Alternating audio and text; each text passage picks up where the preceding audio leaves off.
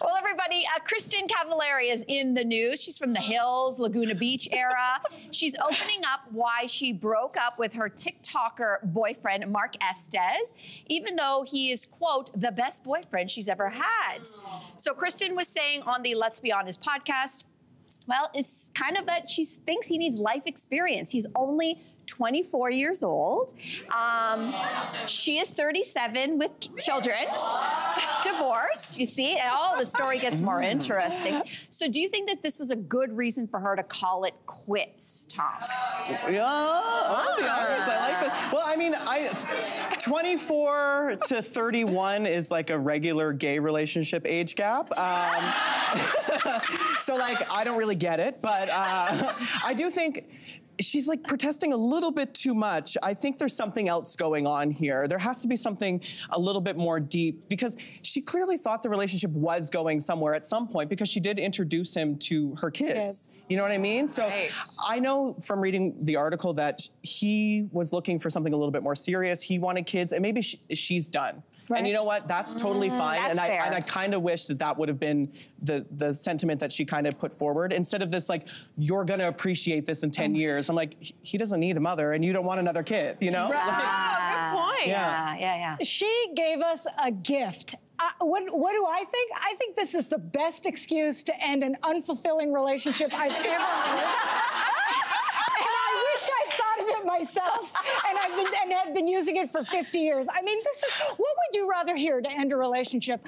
We need more space. It's It's not you, me, it's- it's you. me. Yeah, right? yeah, It's that- like, or I love you so much. I think you need to have more sex with other people. Yeah.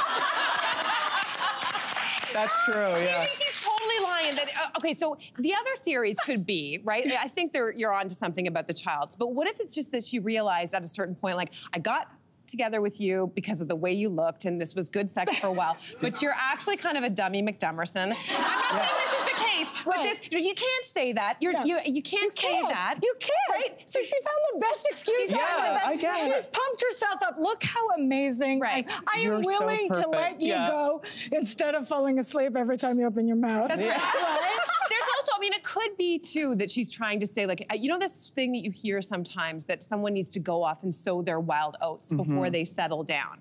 Do, I don't know though that That we, is exactly is that- what must happen for some people. For some Sure. people. Explain this to that me. was my story. Her, I felt like she was talking to me. So when I met my now husband Ryan, he was 24 and I was 29, and it doesn't seem like a big spread. There's a lot but that can that's happen a there, big yeah. spread. Yeah. And Ryan, I mean, he's very handsome, but especially at 24. So I was wise enough and nice enough at 29 to know my next relationship, I want it to be the relationship. Right. Mm. And at 24, looking like that, you need to go out and share yourself with the world. And so I, I will say quickly 24, 29, we were dating for not even two weeks. And he had said, You know, listen, I'm having such a great time with you, but I've got a boys' trip to Las Vegas. I said, Wonderful, go. and I literally was trying to shove him out the door. fly, baby, Fly.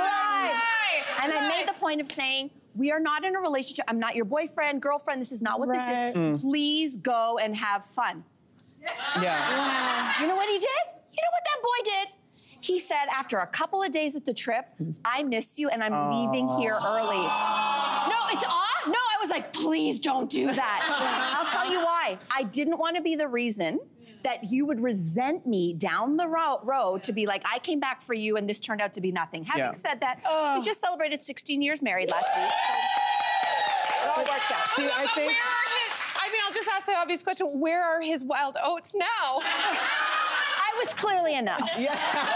Hey, you, come a bit closer. We've got so many more must see interviews, spicy debates, lifestyle tips, and pop culture moments. So, subscribe to our channel by tapping the logo below and don't miss out.